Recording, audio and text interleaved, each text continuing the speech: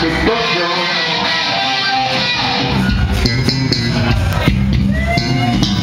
this song is not just six dogs, it's not just ten dogs, it's not 20 dogs, it's 30 dogs in a suitcase.